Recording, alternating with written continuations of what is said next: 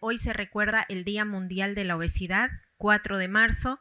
y el lema de este año es Hablemos de obesidad. La obesidad es una enfermedad como tal que muchas veces no se reconoce en nuestro medio y que está demasiado estigmatizada. Estigmatizada debido a que debemos conservar ciertas ciertas costumbres y ciertas, ciertos fenotipos de cuerpo, pero en realidad la obesidad lo que es es una enfermedad que detrás de ella esconde enfermedades como la diabetes, la obesidad, la hipertensión arterial, el síndrome metabólico, el hígado graso, múltiples cánceres se esconden detrás de la obesidad. Es por esto que en este día 4 de marzo hacemos un llamado a la población a realizar un control de su peso, a evaluar la posibilidad de que pueden llegar a tener obesidad y pueden llegar a tener otras enfermedades, eh, enfermedades eh, no transmisibles detrás de la obesidad. Los grupos más afectados son el sexo femenino, donde tenemos más de población femenina con sobrepeso y obesidad. También la niñez y la adolescencia son un grupo bastante afectado después de la pandemia debido a las horas que pasan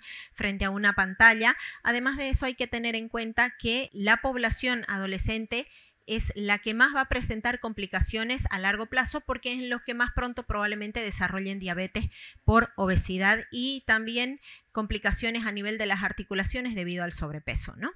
Invitamos a la población a realizar un control anual de salud en todo el sistema de salud público para ser evaluado eventualmente por un médico de atención primaria y si el paciente presenta sobrepeso y obesidad debería ser derivado a un segundo y tercer nivel para poder realizar su control y su seguimiento con un equipo multidisciplinario. En aquellos que, por ejemplo, diagnosticamos obesidad, deberíamos descartar ciertas patologías o enfermedades no transmisibles como hipertensión arterial o diabetes o enfermedades cardiovasculares